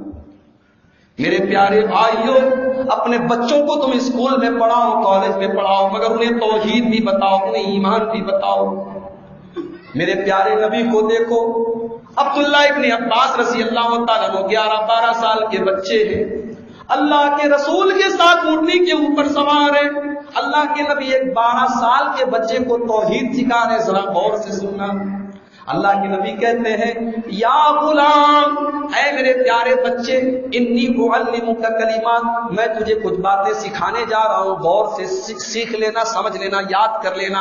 اذا فاسال اللہ اے میرے پیارے بچے، تو جب بھی سوال کرنا، جب بھی دعا کرنا، جب بھی ہاتھ اٹھانا، تو اللہ سے کے سامنے ہاتھ اٹھانا۔ وہی دستانتا اور جب بھی تو مدد مانگنا، فاستعن باللہ تو اللہ سے مدد مانگنا۔ اور اے میرے بچے بچے، اگر ساری دنیا مل کر کے تیرا کوئی نقصان کرنا چاہے، نقصان نہیں پہنچا سکتی ہے، جتنا نقصان تیرے مقدر میں لکھا ہے، اتنا ہی تیرا نقصان ہوگا۔ ساری کائنات مل کر کے تیرا کوئی فائدہ کرنا چاہے، تیرا کوئی بھلا کرنا چاہے تو نہیں کر سکتی۔ جب پل قلم اللہ تعالیٰ نے تقدیر لکھ دیا ہے، تقدیر کا لکھا کوئی بدل نہیں سکتا ہے۔ غور کرو میرے بھائیوں بارہ سال کے بچے کو اللہ کے نبی توحید سکھا رہے اس امت کو آج توحید دکھانے والا کوئی نہیں ہے۔ پیٹو مولویوں نے اپنے پیٹ کی دکان چلانے کے لیے توحید کو شرک بنا دیا اور شرک کو توحید بنا دیا۔ آج ایسے ایسے علماء ہیں، اسٹیج پر کھڑے ہوتے ہیں اور اپنی پبلک سے کہتے ہیں، ارے ایسا ایسا شریکوا تو ہم منہ سے سڑک جائے تھے۔ ہمارے یو پی کے اندر ایک مولوی صاحب تقریر کرنے آئے، بولے یہ لوگ شرک شرک کرتے ہیں، ایسا ایسا شرک تو میں منہ سے سڑک جاتا ہوں، اس کو حلق میں ڈال دیتا ہوں۔ آج جس گناہ کو اللہ نے سب سے بڑا مہا پاپ کہا، سب سے بڑا گناہ کہا، جس گناہ کے بارے میں اللہ نے قرآن میں اٹھارہ رسولوں کا ذکر کرنے کے بعد کہا اگر میرے رسولوں نے بھی شرک کیا ہوتا تو ان کی نیکی برباد ہو جاتی۔ شرک کرنے والے کی کوئی نیکی اللہ کی کیا قبول نہیں ہوتی۔ روزہ برباد، نماز برباد، حج برباد، عمرہ برباد۔ اور جانتے ہو؟ شیطان جب بہکاتا ہے تو کیسا بہکاتا ہے؟ ایک صاحب حج کرنے گئے۔ حج کرنے گئے، وہاں طبیعت خراب ہو گئی، بیمار ہو گئے۔ تو ہندوستان میں فون کر کے اپنے پریوار سے، اپنے گھر والوں سے کہتے ہیں، ارے، میری طبیعت بہت خراب ہو گئی ہے، ذرا میرے نام سے ایک چادر چڑھا دینا آج میرے میری طبیعت ٹھیک ہو اللہ ایسے مہر لگا دیتا ہے۔ انسان سعودی عرب مکہ کی سرزمین پر کھانے کعبہ کے پاس جا کے بھی اس کو اجمیر یاد آتا ہے، اس کو کھاجا کی درگاہ یاد آتی ہے۔ یہ جب انسان کا دل سیاہ ہو جاتا ہے، جب شرک کی مہر لگ جاتی ہے، تو انسان وہاں بھی اللہ کو یاد نہیں کرتا ہے۔ غور کرو میرے بھائی جہالت بہت بڑا سبب ہے آج امت کے اندر شرک کا۔ قرآن کا مطالعہ کرو، آج ان مولویوں نے اپنی پبلک کو بیوقوف بنایا ہے، قرآن مت پڑھو۔ میں کہتا ہوں، میری تقریر مت سنو، میری تقریر مت سنو، لیکن آج سے گھر جا کے قرآن پڑھنا شروع کر دو۔ آج سے گھر جا کے قرآن کا ترجمہ، اگر آپ ہندی آتی ہے ہندی میں، گجراتی آتی ہے گجراتی میں بنگلہ آتی ہے، بنگلہ میں، بس قرآن کا ٹرانسلیشن پڑھنا شروع کر دو۔ میرا یقین ہے، قرآن پڑھتے چلے جاؤ گے اور شرک کے بادل چھٹتے چلے جائیں گے اور توحید آپ کے دماغ میں بیٹھتی چلی جائے گی۔ علم نہیں ہے، جہالت ہے۔ اور دوسرا بڑا سبب، امت کے اندر شرک کا تعصب ہے، ہٹ دھرمی ہے۔ مولوی صاحب، بات تو آپ کی سب صحیح ہے، مگر ہم مانیں گے نہیں۔ یہ ہٹ دھرمی ہے یہی ہٹ دھرمی تھی۔ اس نے ابو جہل کو برباد کیا تھا۔ ابو جہل میرے رسول کو جانتا تھا، یہ اللہ کے سچے رسول ہیں، مگر نہیں مانتا تھا۔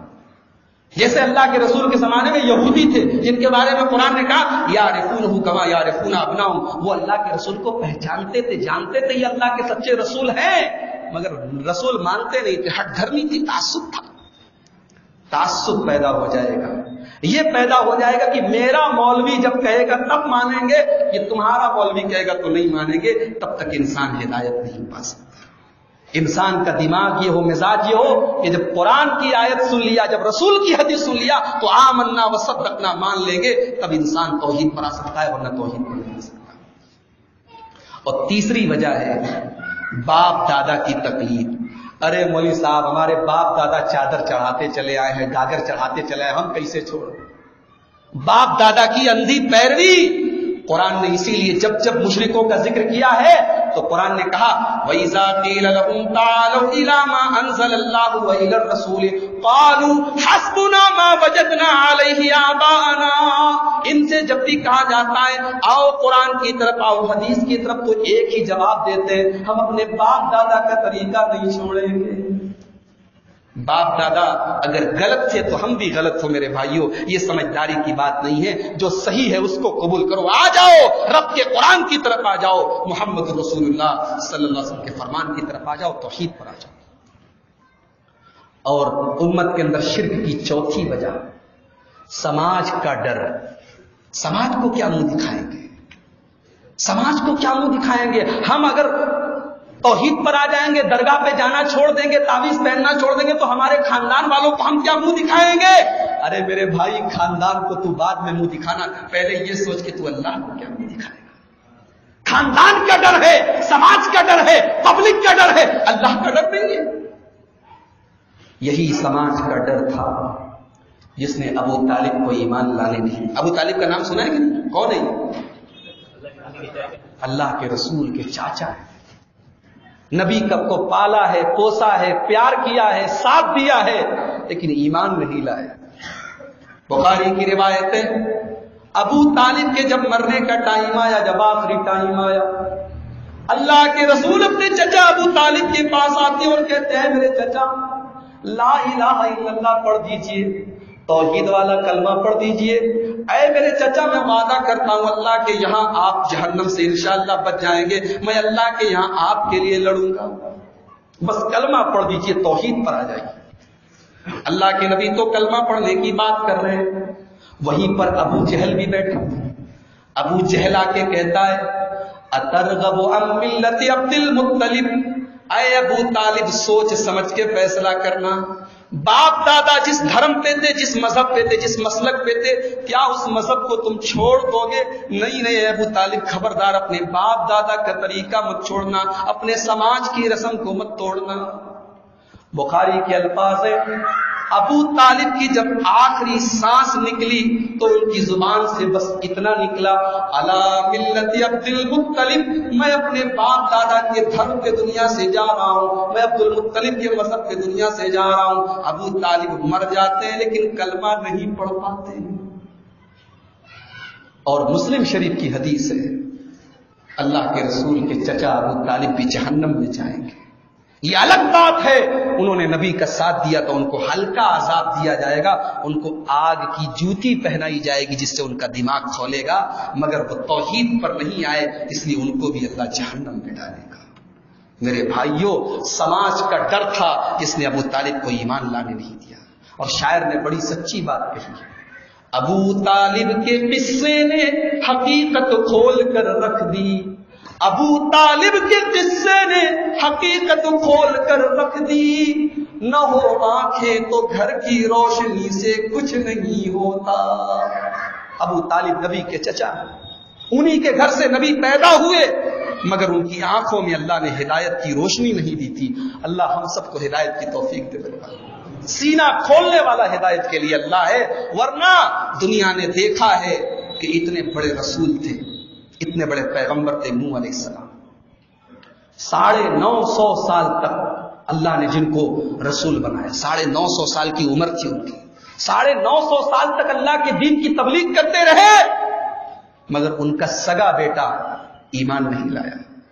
جب طوفان آنے لگا اور نو علیہ السلام نے کشتی بنائی اور اپنی کشتی بھی اپنی، اپنے ماننے والوں کو سوار کیا تو اپنے بیٹے سے کہتے ہیں، یا بولی کب مانا، اے میرے بچے آ جا میری کشتی میں آ جا میرے بچے آ جا میری کشتی میں، تیرا باپ تجھے بلا رہا ہے۔ لیکن بیٹے کے دل پر اللہ نے مہر لگا دی۔ بیٹا کہتا ہے صحابی علاج بنی یا سے منی من الماء. اے ابا جان، مجھے آپ کی کشتی پر نہیں آنا ہے۔ اگر طوفان آ بھی گیا تو میں پہاڑ پہ چڑھ جاؤں گا، میں پانی میں ڈوبوں گا، نہیں میں مروں گا، نہیں آپ میری چنتا مت کیجیے، میں آپ کے اوپر ایمان نہیں لاؤں گا۔ نو علیہ السلام بیچارے بڑے درد سے کہتے ہیں لا آسم اليوم من امر اللہ۔ اے میرے بچے، آج کوئی پہاڑ تجھے بچا نہیں سکتا ہے۔ آج اللہ کا عذاب آئے گا، تو مر جائے گا، ڈوب جائے گا۔ آج میری بات مان جا۔ قرآن کہتا بھی باپ بیٹے کی بات چل ہی رہی تھی۔ فحال بینہم الموج فکان من المغرقین سمندر کے پانی کی لہر آئی، سیلاب آیا، پانی کے اندر باڑھ آئی اور نوح کا بیٹا ڈوب گیا۔ میرے بھائیوں اللہ کے ہاں رشتہ ناتا نہیں دیکھا جائے گا کہ آپ کس کے بیٹے ہیں، کس کے باپ ہیں۔ اللہ کے ہاں توحید دیکھی جائے گی، آپ کا ایمان دیکھا جائے گا۔ بغاوت پر ہو آمادہ تو ڈوبے نوح کا بیٹا۔ بغاوت پر ہوں آمادہ تو ڈوبے نوح کا بیٹا۔ یہاں نام و نصب کی برتری سے کچھ نہیں ہوتا۔ ہم انصاری ہیں، ہم سید ہیں، ہم شیخ ہیں، ہم فلاں ہیں، ہم فلاں ہیں۔ ہمیں جہنم میں ہمیں جہنم کی آگ نہیں چھو سکتی۔ نہیں نہیں میرے بھائیوں توحید ہوگی تو جہنم کی آگ نہیں چھوئے گی، ورنہ توحید اگر آپ کی گڑبڑ ہے تو اللہ کے عذاب سے آپ کو کوئی نہیں بچا سکتا۔ علاج کیا ہے؟ ہماری تقریر کا آخری آخری ٹکڑا۔ بیماری میں نے بتا دی، علاج کیا ہے؟ ظاہر سی بات ہے، شرک کا علاج توحید ہے۔ مرنے کے پہلے توبہ کر لو، توحید پر آ جاؤ، شرک سے توبہ کر لو۔ اللہ معاف کر دے گا۔ اللہ نے دروازہ کھولا ہے توبہ کا۔ جب تک سانس ہے تب تک چانس ہے۔ جب تک زندگی ہے تب تک توبہ کر لو، توحید کے راستے پر آ جاؤ۔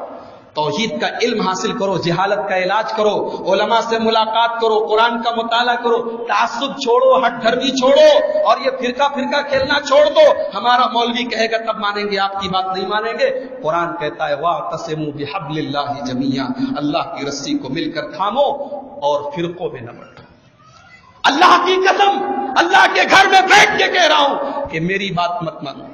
میں اپنی بات کی طرف نہیں بلاتا۔ بس اتنا کہتا ہوں کہ قرآن کی آیت پڑھ کے سنائیے، قرآن کی بات مان لو۔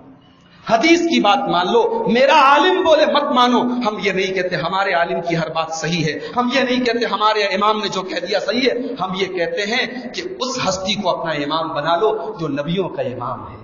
جو امام اعظم ہے جو امام کائنات ہے محمد الرسول اللہ کے طریقے پر آ جاؤ۔ وما عن الحوا جن کی زبان سے نکلنے والا ایک ایک لفظ معصوم ہے، جن کی کوئی بات غلط نہیں ہوتی۔ میرے بھائیوں اپنے حالات کا جائزہ لو۔ آج ہندوستان کے حالات کا جائزہ لو۔ آج ہمارے فرقے فرقے کے نام پر آج ہمیں کتنا کمزور کر دیا گیا ہے۔ آج اس وقت امت کو ضرورت ہے اتحاد کی، اور یہ اتحاد اگر ہو سکتا ہے تو توحید کی بنیاد پر ہو سکتا ہے۔ قرآن کہتا ہے بس گرو نے مت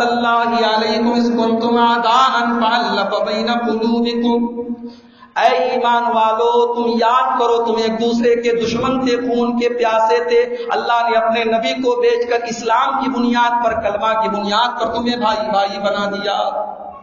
ہم ہندوستان میں رہتے ہیں، برما کے اندر ہمارا روہنگیا مسلمان اگر مارا جاتا ہے، اس کی عزت لوٹی جاتی ہے، اس کا گھر جلایا جاتا ہے، ہمارے دل ہمارا دل تڑپ جاتا ہے، ہماری آنکھ سے آنسو نکلتا ہے، جبکہ ہمارا کوئی رشتہ نہیں ہے ان سے، کوئی تعلق نہیں ہے، مگر ایک رشتہ ہے، ایمان کا رشتہ ہے، ایک رشتہ ہے، توحید کا رشتہ ہے، ایک رشتہ ہے، لا الہ الا اللہ کا رشتہ ہے۔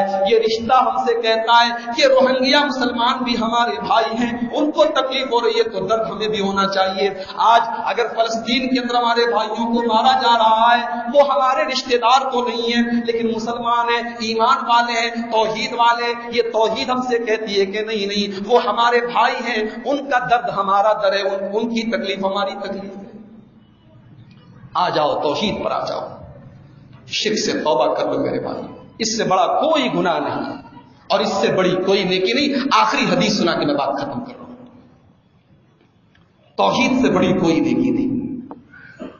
ترمیزی کی روایت ہے۔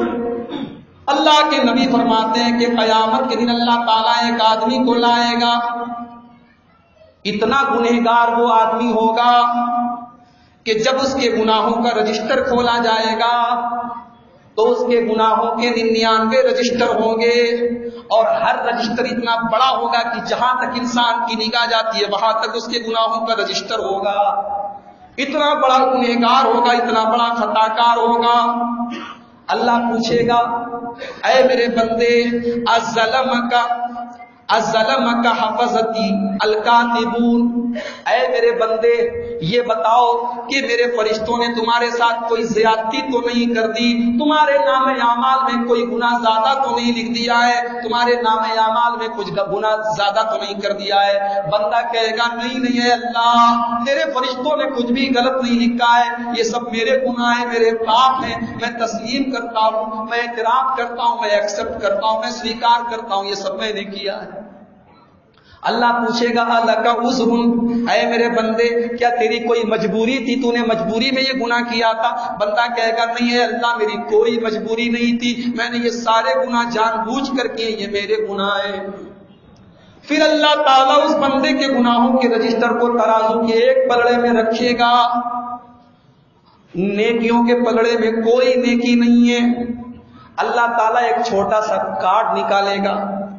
اس کارڈ کے اوپر لا الہ الا اللہ محمد الرسول اللہ لکھا ہوگا۔ اس کارڈ کے اوپر کلمہ لکھا ہوگا۔ بندہ کہے گا اللہ، ایک طرف اتنے سارے گناہ ہیں، گناہوں کے اتنے بڑے بڑے رجسٹر ہیں۔ ماں حاضل بتاقت ماں حاضل سجلات اے اللہ، ان بڑے بڑے رجسٹروں کے مقابلے میں اتنے بڑے کارڈ کی کیا اوقات ہے؟ اللہ کہے گا، اے میرے بندے، تو ڈر مت، تو غم مت کر، تیرے ساتھ آج ظلم نہیں کیا جائے گا۔ اللہ تعالیٰ نیکی کے پگڑے پر وہ کلمے والا کارڈ رکھ دے گا۔ کلمے والا کارڈ رکھ دے گا، توحید رکھ دے گا۔ اللہ کے رسول فرماتے ہیں سجلات گناہوں کا رجسٹر ہلکا پڑ جائے گا، توحید والا پگڑا بھاری پڑ جائے گا، وہ چھوٹا سا توحید والا کارڈ بھاری پڑ جائے گا اور اللہ تعالیٰ کے عذاب سے وہ آدمی بچ جائے گا۔ میرے بھائیوں اس حدیث کا یہ مطلب نہیں ہے، ہم گناہ پر گناہ کریں، گناہ پر گناہ کریں اور یہ سوچ کے بیٹھ جائیں کہ ہم تو توحید والے نہیں نہیں، توحید کا یہ مطلب نہیں ہے کہ ہم گناہ کرتے چلے جائیں، توحید کا یہ بھی مطلب ہے، جب اللہ کو ہم نے ایک جانا ہے تو اللہ سے ڈرے اللہ کا خوف کھائیں، اللہ کی پکڑ سے ڈریں، یہ بھی توحید کا ایک مطلب ہے۔ جب ہم نے ایک اللہ کو اپنا معبود جانا ہے تو ہم یہ بھی ڈریں اور سوچیں کہ ہم اپنے بیڈ روم میں، اپنے بستر پر، اپنے کمرے میں بھی کوئی گناہ کرتے ہیں تو اللہ دیکھ رہا ہے۔ ہم بند کمرے میں بھی کوئی گناہ کر رہے ہیں تو اللہ دیکھ رہا ہے۔ ہم گناہوں سے بچیں، جب توحید پر آ جائیں گے تو گناہوں سے بچنے کی کوشش بھی کریں گے۔ لیکن توحید اتنی بڑی چیز ہے کہ اتنی بڑی نیکی ہے کہ گناہوں کے ننانوے رجسٹر فیل ہو گئے لیکن توحید پاس ہو گئی۔ اللہ ہم سب کو توحید والا بنا دے اللہ قیامت کے دن ہمارے نام اعمال میں ہم سب کو میرے بھائیوں ہم سب کو اس بات کا اعتراف ہے کہ ہم گناہ گناہ گار ہیں۔ ہم میں سے کوئی آدمی معصوم نہیں۔ ہے کوئی آدمی معصوم نہیں، کسی کا دامن صاف نہیں ہے، کسی کا دامن پاک نہیں ہم سب داغدار ہیں، سب گنہگار ہیں۔ بس اللہ سے یہ دعا کرو، اللہ مرنے، مرتے دم تک۔ اس لیے کہ حدیث میں آیا ہے کہ ایسا بھی ہوتا ہے کہ بندہ آخری زندگی بھر تو ایمان پر رہتا ہے، مرنے کے پہلے شرک کر دیتا ہے۔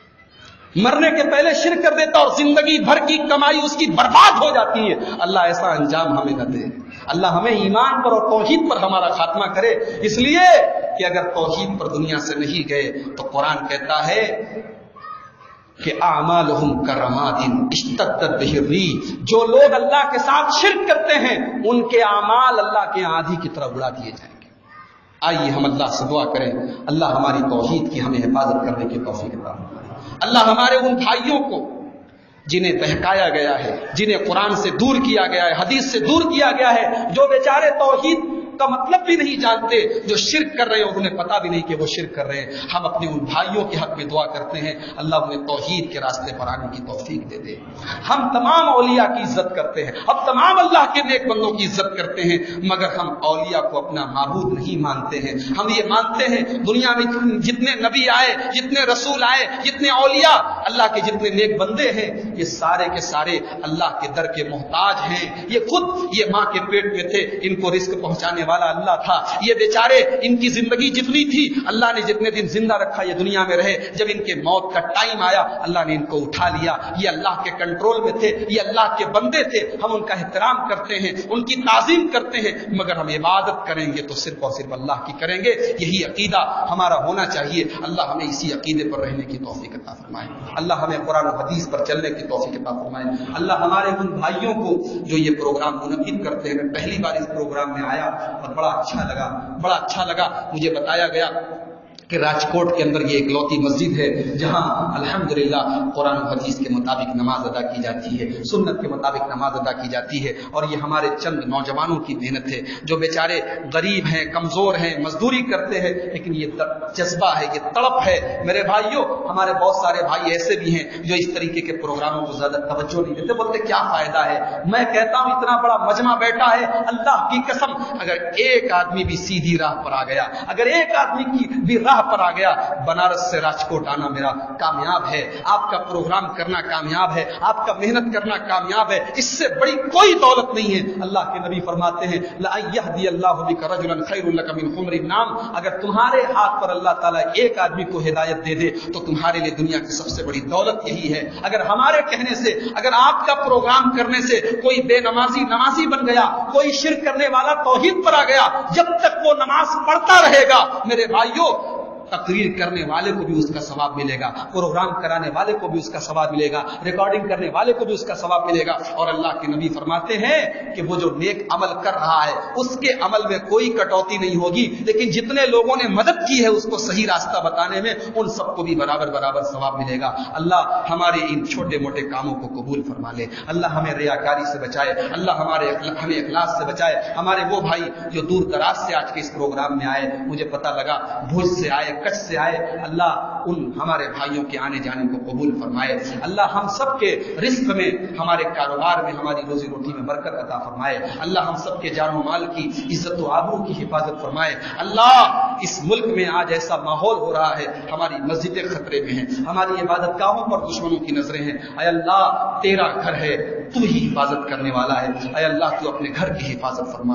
اے اللہ، جس مسجد کی لڑائی ہم نے تیس سال سے آج تک لڑ رہے، آج اس مسجد کا کا بھی سودا کیا جا رہا ہے۔ اے اللہ، اس مسجد کو جن ظالموں نے گرایا ہے، تیرے گھر کو گرایا ہے۔ اے اللہ، تو ان سے اپنا انتقام لے لے۔ اے اللہ، ان ظالموں کو اپنے گھر کو اٹھانے والوں کو تو ان کے انجام تک پہنچا دے۔ اے اللہ، یہ ملک ہمارا ہے، یہ وطن ہمارا ہے۔ اس وطن سے ہمیں محبت ہے، اس ملک کی مٹی سے ہمیں محبت ہے۔ اے اللہ، اس ملک کے امن اور چین کی تو حفاظت فرما۔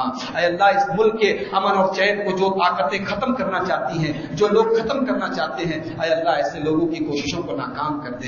اے اللہ، اس ملک میں ہمیشہ صدیوں سے ہم مل جل کر رہے ہیں، پیار اور محبت سے رہے اے اللہ، اس ملک میں بھائی چارہ، پیار، محبت، پریم اور سوہارد کو تو برقرار رکھ۔ اے اللہ، ہمارے دلوں میں ایک دوسرے کی محبت ڈال دے۔ اے اللہ، ہم مسلمانوں کو اتحاد و اتفاق کی توفیق نصیب فرما۔ اے اللہ، مسلک اور فرقے کے نام پر جو جو بٹوارے ہو رہے ہیں، اے اللہ، ان بٹواروں سے ہٹ کر کے قرآن اور حدیث کی بنیاد پر ہمیں ایک ہونے کی توفیق عطا فرما دے۔ اے اللہ، ہم سب کو توحید پر چلنے کی اور شرک کے شرک کے ہلکے سے شرک کے نشان سے بھی ہمیں تو بچنے کی توفیق عطا فرما۔